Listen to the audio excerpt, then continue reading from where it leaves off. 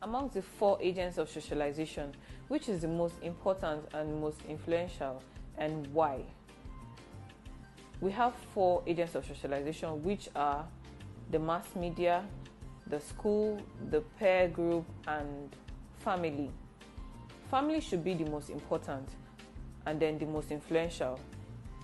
It should override the others in the sense that in family, they get to instill morals and discipline in a child.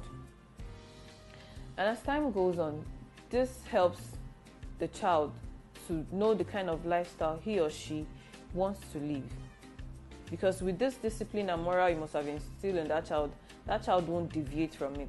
So it helps shaping the kind of lifestyle they choose to live in future. Remember, the kind of childhood they experience determines the type of adults they become.